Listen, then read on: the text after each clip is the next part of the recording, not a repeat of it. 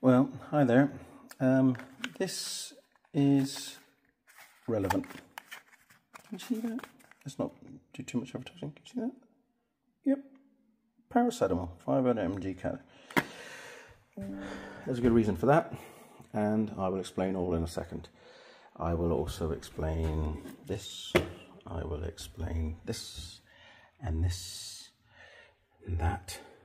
But for now, let's go for, oh, I'll also explain. That is ouchy. Right, so let's have a little wander and let me explain something. Uh, down my st stairs of doom. Oh, doom walk is a bit like walking down stairs. I remember that. Okay. That is a reason for paracetamol. It's a 110 volt motor, brush is gone, um, previous owner was obviously, um, uh, I don't quite know how to describe that, an electrician. Uh, anyway, that broke. What that did is caused us a massive headache, and uh, we had work that we had to get out of the door. Um, excuse the mess of this. Um, it's not me, but somebody's going to be in for a little, um, let's say, chat on Monday. So that broke. Where that is from is bom bom bom. Is from this machine. Okay. It is the motor that drives my backstop, you know, to the tooling, back and forth and that kind of thing. Um, gives us nice accurate bends, we should do. Apart from this is the replacement. This is a closed loop stepper from Steppers Online. Not that I'm advertising, I don't get paid to.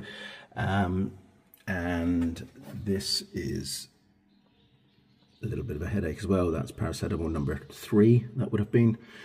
Um, so what I did, took out that motor, took out all the electronics, well, electromechanical setup that uh, uh, that was associated with it, linked to it, connected to it, whatever you want to call it, and threw it all away.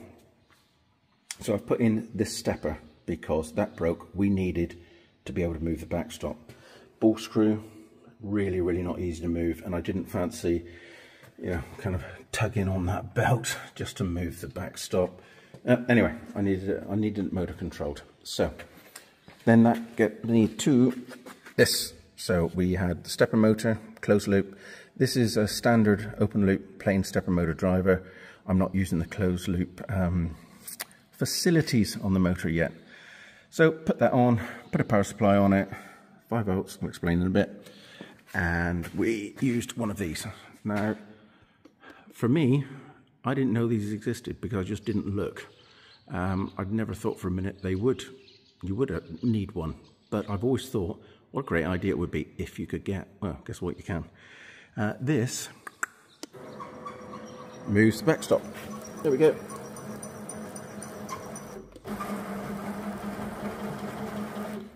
Now, I don't know about you, but that is cool. You got speed control on it, you got all kinds of functions on it.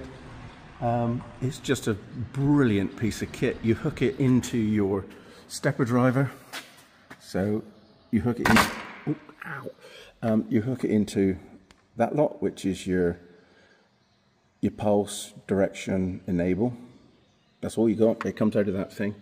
Um, you hook up a little bit of power yep, from this thing, and you connect your motors in. Your you can see it there, A leg, B leg, so on and so forth. Switches. I don't worry about any of that. Not for not in this instant. I tinkered with it a bit, but it wasn't that important. So that's what I did. Uh, took us about three hours to sort it all out, rip out all the old um, and put in this new. Now, people are going to question my engineering skills when you see stuff like that. Question away. We had to do something that made it work. Uh, we had to get it. We had to get stuff out the door. We had 35 trays with eight, nine bends in, and they just had to go out the door. So I had to do something. This is what I did. Um, and for those of you who um, can spot the obvious, yes, I did lose a screw. Okay. Uh, uh, uh. Somebody would say, oh, that screw's different. And if they did, brilliant. they can point it out and I'd say, ah, oh, yeah, I dropped one, couldn't find it. It's down there somewhere. Anyway, what a great piece of kit. Cheap as you like, Steppers Online. Uh, you can get them on Amazon for little bit cheaper, shall we say, than Steppers Online. Um, and they literally are just plug and play. The only downside is be very careful if you do just plug and play because the buttons are set up that when you press them, ComSat, yep, you can see, uh, they come set up so you press them and you have to hit a stop. Yeah? So you press them, the motor carries on going. Don't be caught out like I was and end up having um, a motor spinning off his desk and, uh, and landing on the floor. Anyway, the plan is, is to get rid of all of this bumpy bump. Not all of it. Need that. Need that. And a few other, and to be able to start the pump, of course. Um, what's in there is we're going to get rid of. Uh, we've already taken off. There was one big hairy ass box on the top there that had all the motor driver stuff. It was a sort of a CNC at some point, but and there was a box up here that was straight out of Star Trek. It was a hideous thing. And, uh, oh, as a side issue, actually, I'd love to know who thought that these colours for a machine was a good idea. Anyway, moving on. Um, yeah, so the, the, the plan is to pretty much fully CNC the backstop. You can see it through here. So, yeah, so that we can punch in on a screen here, touch screen probably, HMI, um, touch screen, better punch in, program, da-da-da, da-da-da, da-da-da, um, and then it will go about its business and just do the presses, um, or sorry, do the backstop, and then we'll just manually hit the presses because we pretty much fold everything 90 degrees, give or take. Good indication that the boys have been writing down here what size V and da da da, and it's like all 90. So we don't do much else, although it'd be nice to do so. So the plan is, is to C stroke NC the backstop so that we can have set programs for doing bending. We're doing more and more bending on this little beastie um, and we're getting more and more jobs. So that's the idea. That's why there's a closed loop stepper in there.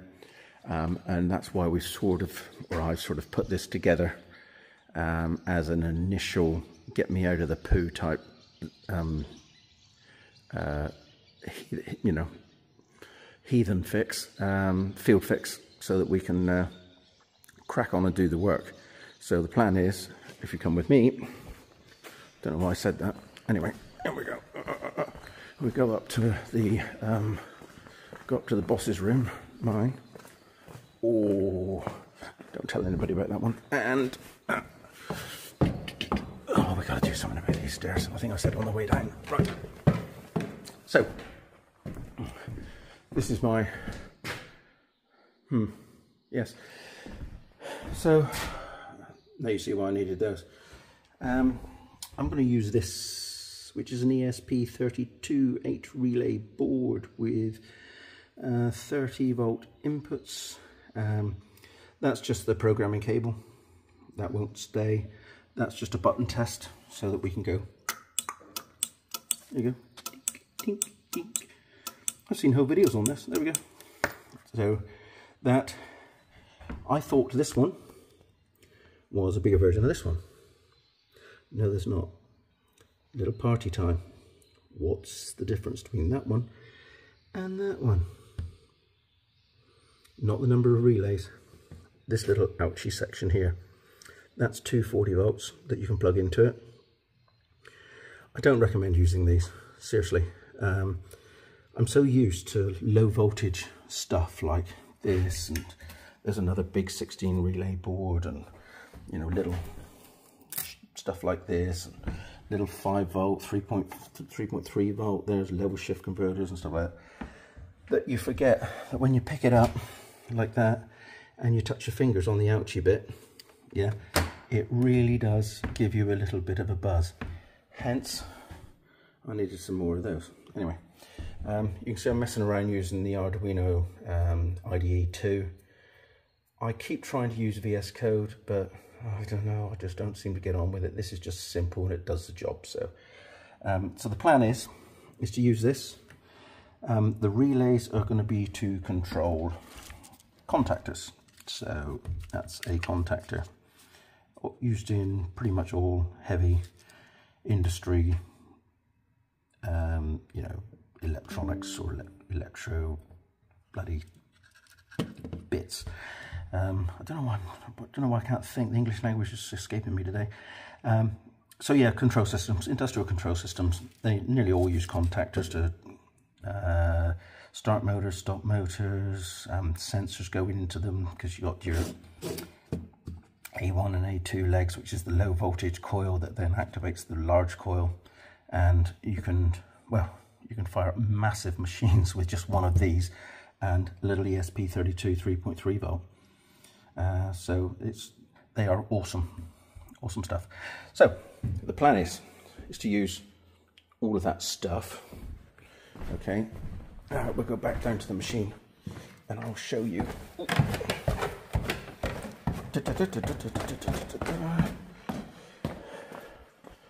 Oh, there's a nice little bit of old school fabrication. And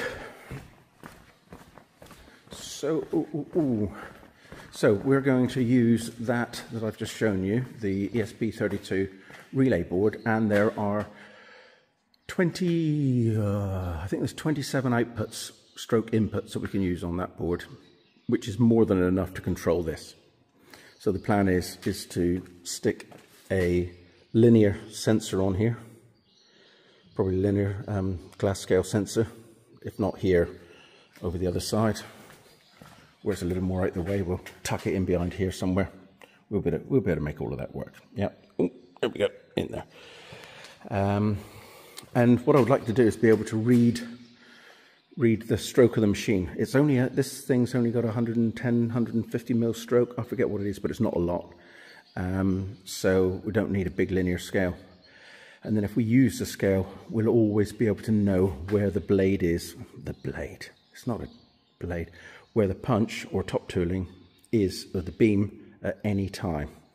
So we'll be able to control that. We'll be able to speed it up, slow it down, all through the use of um, the microcontroller, which will be really, really handy. It'll be super handy. Um, and hopefully we can um, make something really interesting out of it. It's going to be a ways down the line, so don't expect this is, you know, next week's video, is it going to be all working and what have you. Um, so that's it, really. Um, we, or I, bailed us out of the very, very deep poo. We were neck deep in it because this customer was screaming for these trays and uh, we couldn't understand why we couldn't move the backstop.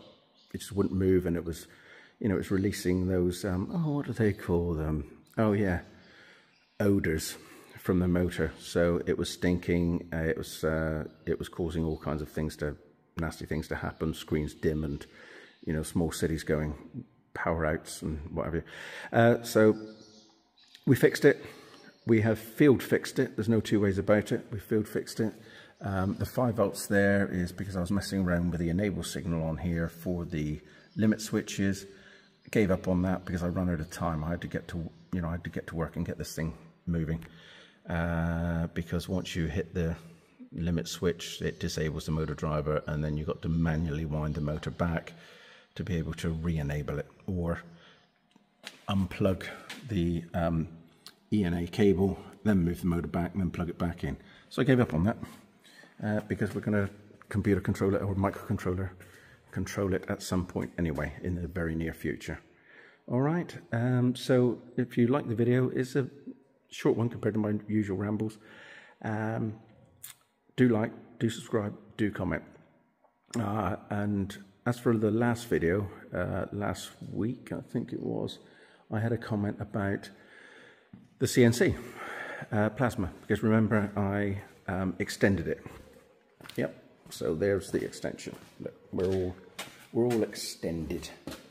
There we go, we're extended there.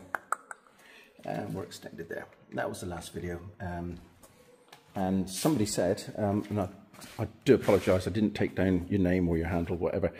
Um, why don't you move the water table forward to accommodate the torch? That's a great idea, except we didn't actually have enough physical travel over the length of the machine. So we could move the water tray next door and we still wouldn't have enough um, cutting area. It's all about the cutting area. So we needed to extend the rails to extend our cutting distance because the problem's not the water tray. The water tray is three meters long. If we move it forward, we still got three meters of water tray. However, if we move it forward, we still only had 2.2 meters of, or sorry, 2.3 meters of machine movement because there was only 2.3 meters of um, rack and rail available due to the offset of the pinion and where the torch is. That's quite a big gap. It's 400 and something odd mil. So, um, great idea. Keep the ideas coming. Keep throwing them at me. Um, I don't know everything by far. Um, so if you get any ideas, throw them at me. And then if there's a reason why they don't work or I can try them and if they don't work, you'll be the first to know. All right. So whoever that subscriber was, thank you very much. I do appreciate the comment, but uh, it's, as they say, it's physics. Um, there just wasn't enough travel in the machine itself, and now we've given it enough travel. Anyway, moving on. So that's it. That's what we're going to do. Uh, thanks very much for watching. I'm not going to ramble on anymore because I've, I don't know why. I've, I've lost the ability to focus today, and it's, uh, it's a bit odd. Um, I'm just tired, exhausted. It's been one of those weeks, and maybe too many paracetamol. You never know. Anyway, like I say, please like, please subscribe, and please comment, and I'll see you on the next one. Take care now. Bye.